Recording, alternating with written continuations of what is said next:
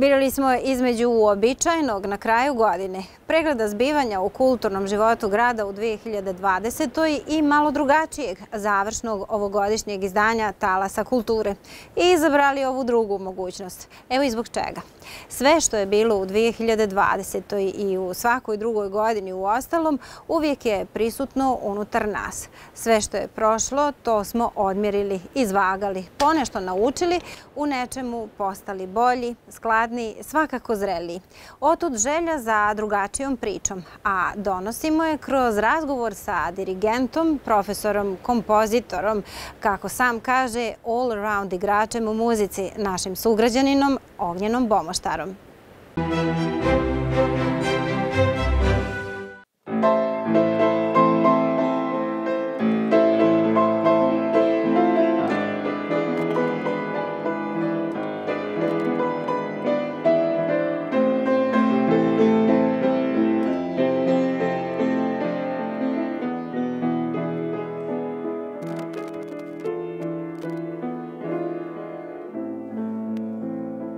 ...1975. godine došao sam u ovaj grad.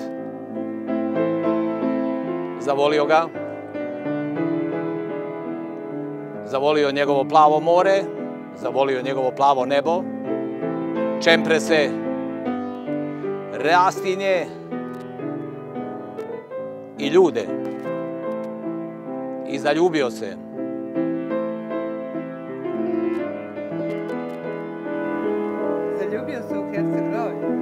Da, ali se zaljubio i u jednu ženu i nadam se da ću ostati do kraja života u ovom gradu. Hercegnovska priča Ognjena Bomoštara ima još jedan početak u našoj muzičkoj školi. Predavao je na tri akademije u Sarajevu, u Istočnom Sarajevu i u Banja Luci, a u školi za osnovno muzičko obrazovanje prvi put baš u Novom.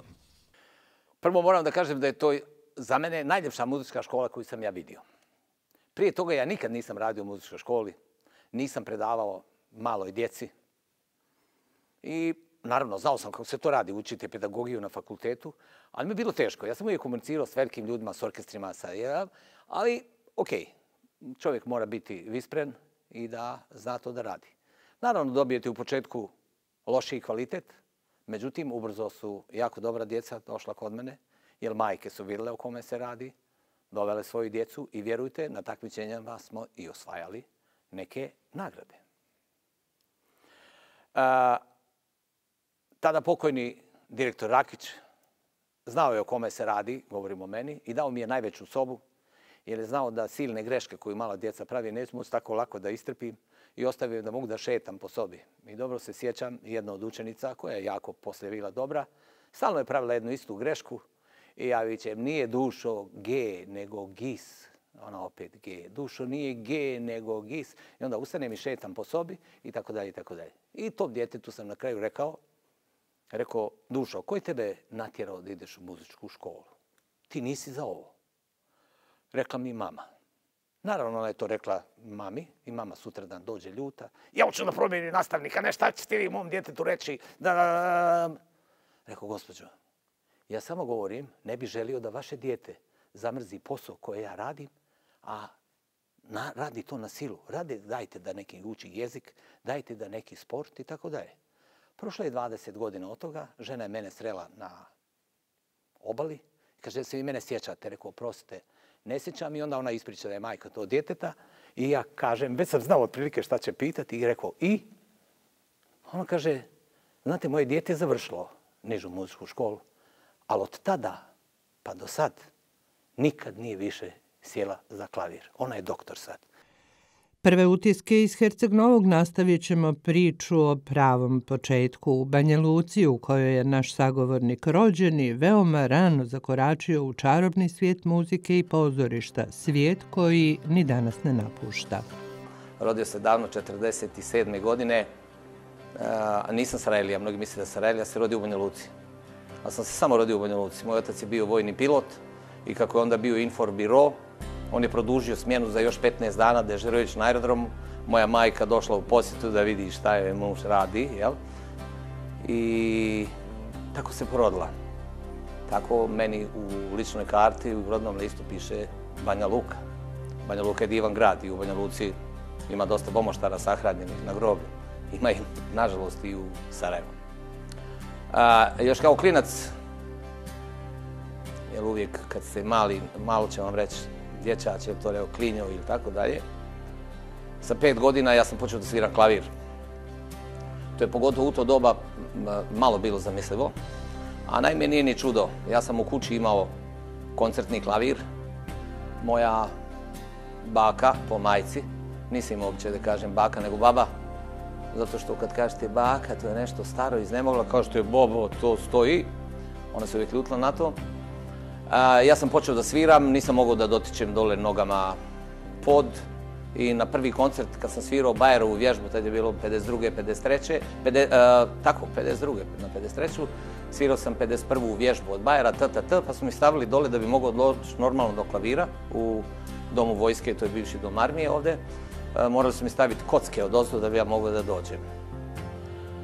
A, što je išlo dalje, ja sam sve više bio u muzici, pošto je moj otac radio i u pozorištu, ja sam e, došao u Narodno pozorište stvarno rano, rijetko je to kad ušao ko u pozorište tako rano, iz prostog razloga što sam volio da vidim šta se dešava tamo i kako sam sa šest i po, sedam godina ušao unutra, tako sam, da kažem, do rata, pa čak i poslije rata ponovo bio u pozorištu i čitav svoj vijek sam proveo u pozorištu, Narodnom pozorištu u Sarajevu.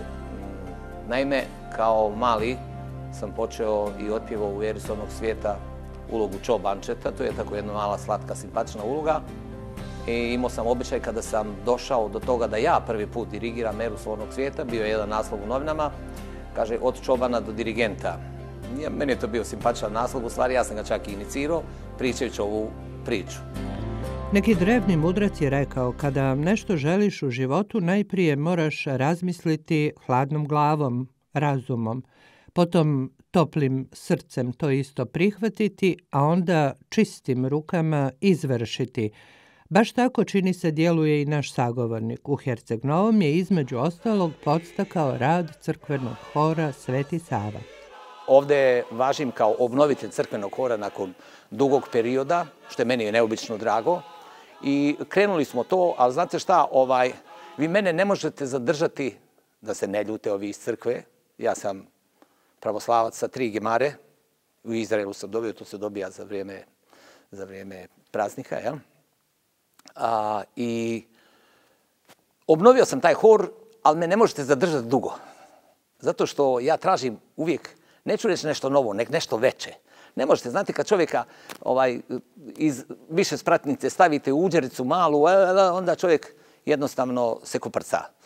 E, naravno, drago mi je da to i dan danas funkcioniše. Bio sam, ja mislim, na Slavi, je li to bio i septembar, oktobar, ne znam, unutra i jako mi je bilo drago otac Nikola me ono predstavio kao da sam sišao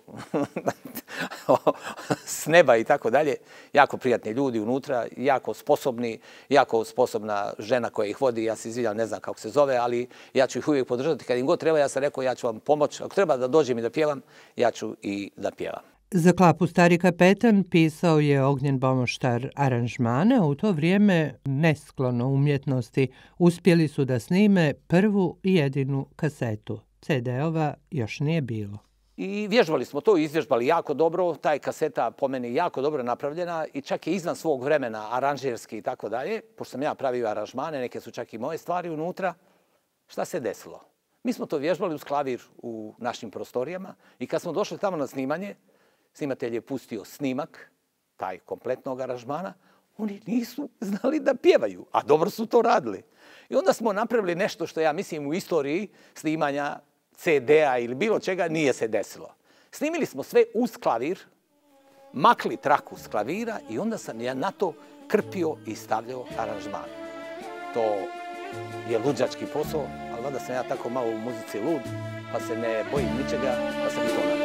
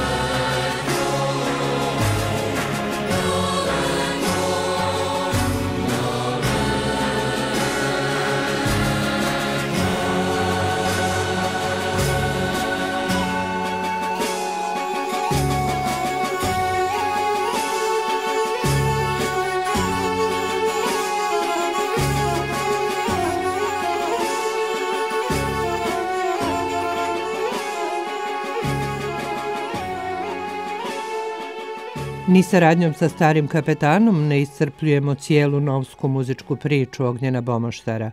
Bio je umjetnički direktor tada veoma aktivnog i uspješnog Novskog umjetničkog centra AS, a na Kanli Kuli zajedno su organizovali prvi izbor za Miss Boke. Doveo sam bio Radovanovića, komičara, onog, u stvari ona iz sedam mladih. Doveo sam grupu Zana, i tu smo imali jednu anegdotu, nismo imali dobar e, razglas u smislu, nismo imali delay i ništa. I ja tamo da kažem to Zani, ona kaže, pa maestro, ja bih volila da ne bude nikakav delay, znate, ja volim tako pjevati. Meni je palo kamen sa srca. To je bilo jako uspješno, jako dobro, da vam ne pričam kako je to teklo. Ostalo nam je svašta, ostalo je odeće. Kako smo izabrali takmičarke, pa u Herceg Novom su stidljivi malo ljudi da se pokazuju.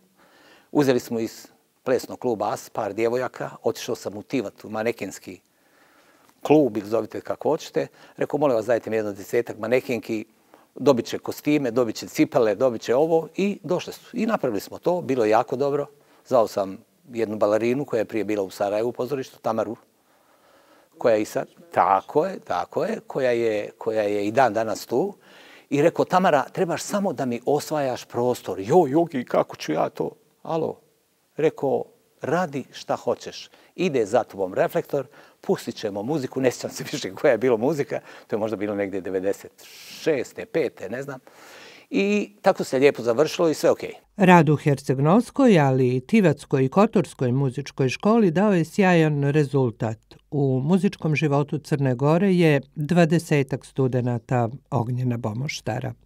Mislim čak više. E,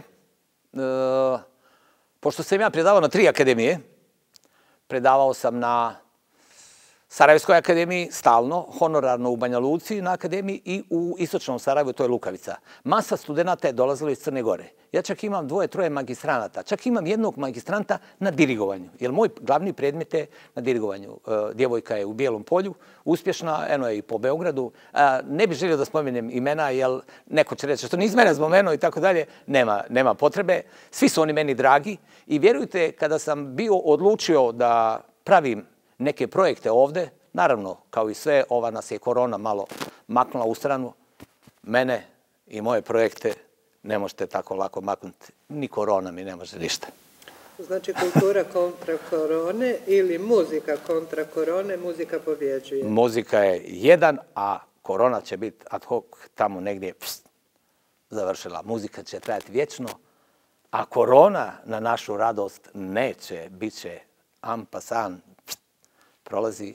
Život i lepeze interesovanja nekih ljudi potvrđuju nam misao da ljudskoj kreativnosti kraja nema, niti ima prepreka da se nastupi kada se to želi, makar i u rudniku. Ja prvo moram da kažem u našoj bivšoj jugi, ovo govorim sa sjetom i sa žalošću, nema u koju rupu nisam zavirio. Namjerno sam rekao rupu. Zato što sam sarađivajući s operskim pjevačima imao te koncerte u dvoje od gore Laškog, gdje sam prvi put probao crno pivo, do Valandova, gdje sam bio na tom festivalu, dole skroz na jugu Makedonije, gdje sam upoznao i Zafira Hadžavanova i njegov oca koji pravi odlično vino. bio sam najviše sa primadonom Gertrudom Muritićem. Mi smo bili tandem jedno 15 godina, jako uspješan, i zvali su nas svugdje. Čak, ovo govorim sad kao anegdotu, moram priznati, to je jedan od mojih najomiljenijih operskih saradnika i s njom sam najviše radio, zato što su je svugdje tražili. Naravno, tamo gdje je sve svugdje traže, idete, idete i vi. Mi smo čak, ovo pričam kao anegdotu, jedan put svirali i u Rudniku. 700 metara pod zemljom svirali koncert. Mi smo imali, to su bile većinom evergreen uh, operetske arije, nisu operske bile, i bile su one onako malo revolucionarne, znate, dižete moral ljudima. Oni su pijanino snijeli dole, i ja imam, ja imam te fotografije, nemam snimke, gdje, bilo je, ja mislim, jedno šestotina rudara, to je bio urlik, rekao, ljudi, nemojte, srušće se ovaj svod i tako dalje. Naravno, bilo je teško malo zadisati, to je trajalo pola sata neuobičajno.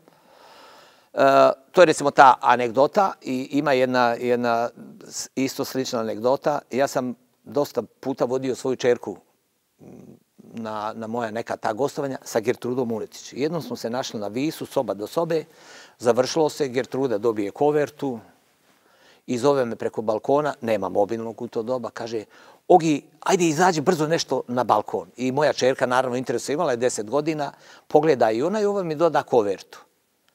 I ja uzmem kovertu i unutra novac. A moja Tamara kaže, ih to. Rekao, tad došli smo dužo uh, zbog toga. Uh, gostovanje. Ovo sam spomenuo samo saradnje s operskim pivačima, da ne kažem s kim sam sve sarađivo. Sa Radminom Sminjačove poznate, sa Krunoslavom Cigujem. Nažalost, Cigo je pokojni, Radmila Sminać, hvala dragom Bogu, još živa. I u dobroj energiji. U dobroj energiji, na, pošto smo nas dvoje Banjalučani, oba dvoje, a znali su se i moj otac i njen otac, mi smo u komunikaciji stalnoj i uvijek neko nekom ispriča prvi vic. Jer smo jedno vrijeme radili zajedno i u Banja Luci, njeni neki studenti, dan danas ja s njima sarađujem. No, da ne nabrajem s kim sam ja se bio, ali ću pokušati da nabrajem ta neka gostovanja. Ja sam gostovao u Sjedinim američkim državama, gostovao sam u Bugarskoj, gostovao sam u Grčkoj, gostovao sam u Švedskoj, gostovao sam u Italiji, gostovao sam u Izraelu, gostovao sam u Francuskoj i da ne redam daje. Ono, gdje god sam mogao, bilo me. I radio stvaralaštvo bilo je izazov za Ognjena Bomoštara u Herceg Novom. Za Radio Herceg Novi realizovao je čitav ciklus priča o svjetskim dirigentima, ali i o najpoznatijim operama, a u Radio Sarajevu pripremao je i radiodrame i susretao se, kaže, sa glumcima koji su u nekom trenutku morali i da zapjevaju. I poznati glumac, ajde moram ga spomenuti, ljudi ga možda ne znaju, to je bilo ono Momo i Zer svoje vremeno, Rudi Alvač, koji nikad, kaže, u životu nije pjevao ni pijan u kafani. Kaže meni, Ogi, kako ću ja to? Pa kaj ja veze nemam, ja kaže, ni pijan ne smije pjevat. Rekao, slušaj, Rudi, sad ću da ti ispričam stvar, a ti samo pozorno prati. Reci mirno, onako patoski, kao, kao šekspirovski, ja se zovem Rudi Albač i glumac sam Narodnog pozorišta. I on kaže, ajde, rekao, sad reci, malo sam te iznervirao. Ja sam Rudi Albač, on kaže. Rekao, ajde sad, hoćeš da me otiraš u... Ja sam Rudi... Pa je rekao, konju, imaš tri tona. Ja ću ti pisati oko ta tri tona i vidit ćeš da umije da pjevam. I sad ćete se nasmijat. Za tu radiodramu gdje je i on pjevao, mi smo negdje u Dubljani dobili nagradu za muziku. Naravno, ne zbog njenog pjevanja, nego kompletno. I on je to držao kao ono ovdje. Ja sam učestvovao, Ogen pisao muziku, ja sam pjevao. Eto, to vam je jedna anegdota iz toga. Valjda će biti, kad proradi Hercegnovsko pozorište i to, potrebe da koriste moje mogućnosti koje su, eto tako, zadovoljavajuće. Razgovor za ovo izdanje Talasa kulture sniman je na sceni dvorane Park i Ognjen Bomoštar kaže na daskama koje život znače. Otud neminovno podsjećanje na predstavu Hercegnovskog pozorišta, jednu od uspješnijih, dovitljiva djevojka, za koju je Bomoštar komponovao muziku još 1998. godine. E, bio sam naravno zadovoljan sa saradnjom, bio je jako lijepo. E, bio je taj i pozorišni bife koji nažalost nema sad. I tamo sam susreto raznorazne ljude. I okej, e, bilo mi je neobično drago. Ja moram priznat, ne sjećam se ni muzike, ne sjećam se ni naslova kakav je bio, ali imam neko ko faktografski to pamti, pa nema problema. Kaže, uvijek moraš naći neki štab ko se poštapat. I ta saradnja Nažalost, to pozorište nekako stalo. Stalo, aps, stalo ovo. Je iseljeno, stalo. Stalo. Na, a, ja moram priznat, nažalost. Ja sam tu vidio jako dobrih predstava. Ja sam tu vidio jako dobrih glumaca, upotrebljivih za, za mnoge stvari. I meni je to strašno žao. Jer znate, ako u jednoj državi, a ajde da smanjimo, u jednom gradu, amaterizam nije dignut na poluprofesionalni nivo, nešto tu nije dobro. Jer kažu, kakva ti je kultura, takva ti je država. U svijetu i vremenu kakvo jeste, nalazimo hiljade načina da se ne suočimo sa onim što nam ne prija. Pozorište to ne dopušta i time nas snaži, ali ne samo pozorište, čini to i muzika.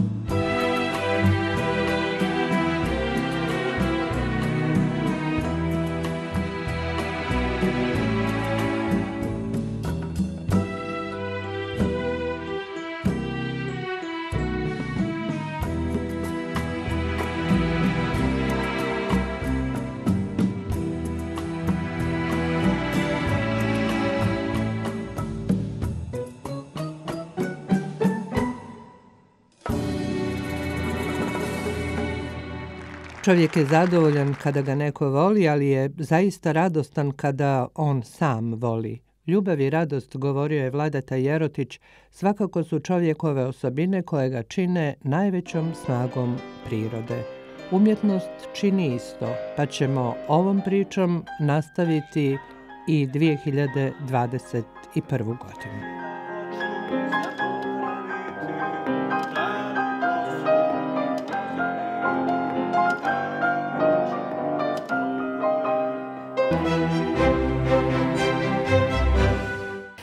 Srećno, riječ je koju ćemo najčešće čuti i izgovarati narednih dana.